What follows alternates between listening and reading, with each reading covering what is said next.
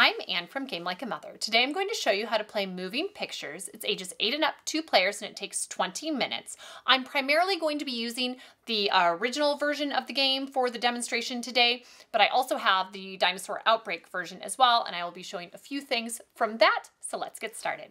The goal of the game is to work together to play your cards out in numerical order over the course of three rounds. You're making a three act film and you're trying to do so uh, without making too many mistakes. There are two deleted scene cards that you get to use over the course of these three rounds. And if at the end, when you've resolved all the actions, there's still one card or two cards not in the right spot, you can remove them, but you only get two of those over the course of three rounds.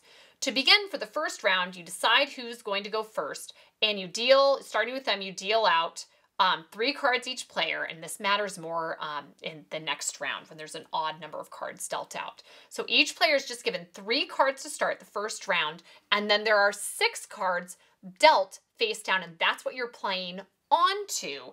And there's an extra few cards that are not used this round. Do not look at them, put them off to the side.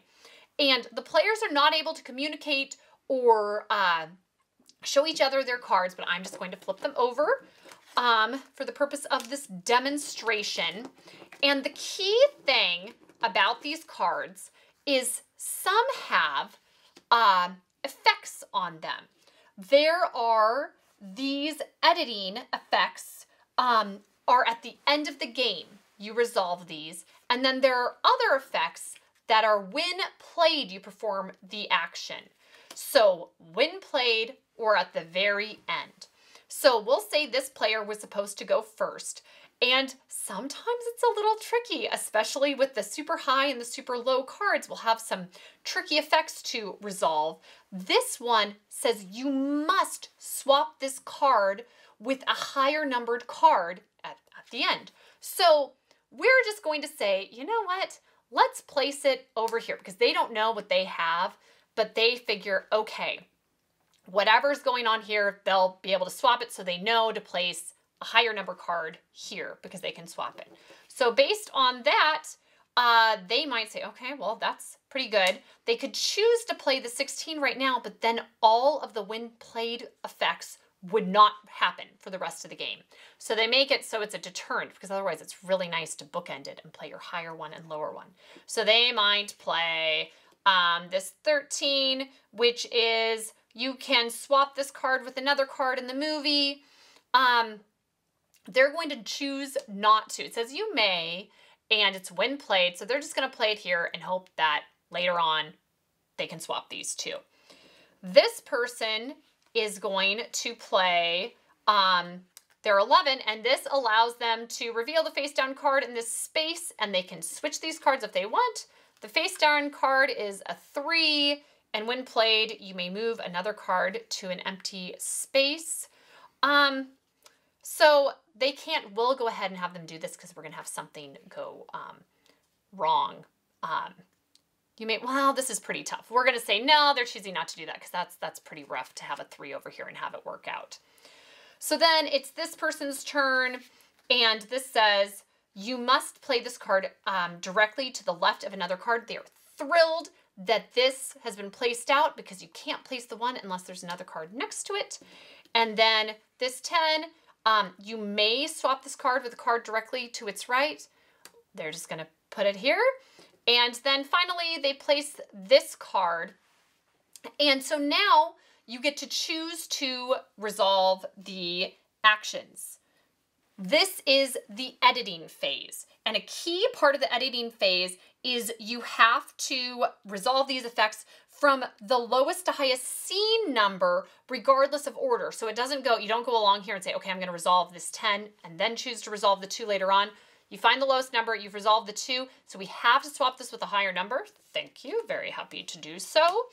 And now they can choose, the only other one that looks like this is the number 10, and it says you may swap this card with the card directly to the right. We don't want to. It's all in order. That was a very successful round. So that's all you do for the whole game. After this, you take all the cards, you made it through the first scene, you were great. There are different effects for some of the different numbers, but on the next round, you deal out seven cards face down. So the first player is going to get four cards and the other person's going to get three. You have to place all those successfully. And then the final round, each player gets four cards and you have all the rest eight out here and you have to get all of those in sequence. And if you want to use the deleted scene, um, it's it's pretty simple what you do for that. If you have them out here, we'll say this is the first round, and uh, okay, we've got five, six cards out here, sure, and it ends up where it's like, let's say, it's like this at the end all you have to do is you say, okay, well, we had it all in order except for this. So you just remove this and this, and then you would be successful with that round and keep on going and you just have one fewer of these to use in the future. Now, the only differences if you're doing uh, the dinosaur outbreak is the cards have different effects and things you can do with them. And the deleted scene cards, one is specifically for cards numbered 1 through 8, and the other one is for cards numbered 9 through 16, so that's a little more tricky. And you can combine the two decks if you like. You just have to make sure there's only one of each number from 1 to 16, so you'd only play with one of these number 13 cards between the two decks, but just combine them however you like, and you have a fresh mix of abilities and cards to use, and you can play around. So that's how to play moving pictures. The target demographic for this game is a uh, co-op gamer that is looking for an easy, portable, and fun game to bring along with them wherever they want to go. This fits the bill. Uh, the rule complexity is low. Uh, however, you really have some tricky decisions at, upon occasion, and some of the cards, especially the ones that require you to move them after they've been placed, can be really tricky. And so it's it's easy to get the basics down, but to play it well uh, can can be um, just the right level of challenging. Uh, how competitive is this game? It is cooperative and yet challenging. I like that you can kind of uh, level out what what your goal is. Our, our holy grail is going where we don't have to do any edits and we just get everything in the right spot every time. But you still feel successful if you're able to complete uh, the three rounds of play with just one or two edits. Uh, so it's it's nice. There are different levels of um, intensity for playing this game.